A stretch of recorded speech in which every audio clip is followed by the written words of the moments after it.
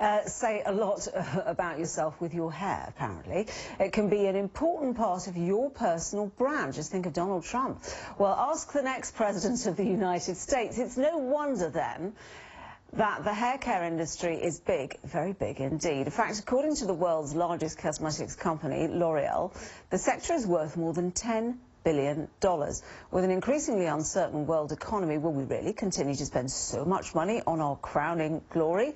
Nathalie Roos is president of L'Oreal Professional Products and joins us now from Paris. Welcome to you.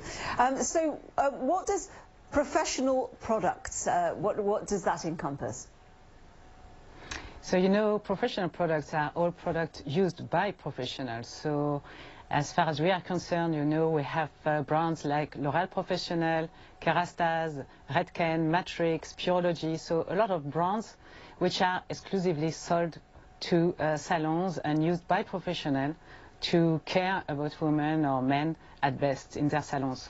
So is this a sector which is growing fast? What part of the hair care sector is growing the most rapidly? It's, it's a growing sector and it's a sector with a high potential and especially at the moment with the digital boom it's a great opportunity for the professional uh, so sector how does the digital boom, care. forgive me for interrupting, how does the digital boom help, help the sales of products?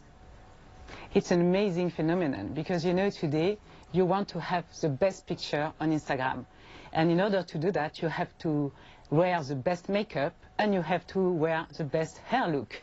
And especially color is now a complete new opportunity. I say hair color is the new makeup because today every woman wants to have a unique look, a unique identity, and this is possible only with professionals because only professionals can really play with the latest trends and the latest techniques to create these unique looks for women and men.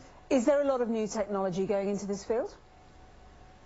Yes, of course, uh, there are a lot of technologies as far as products are concerned, but also tools. Uh, just, uh, just at the moment, for instance, Dyson has just launched a complete new hair dryer, and we have a partnership with them. This, this hair dryer is not only a strong improvement for consumers, but also for hairdressers, because it is ergonomic. The is in the, the engine is in the handle, and uh, we are partnering with this to make sure that the experience in salon is even better for our hairdressers and for our consumers. So the emphasis is on having a variety of styles, is it? There isn't just one particular look which is fashionable at the moment.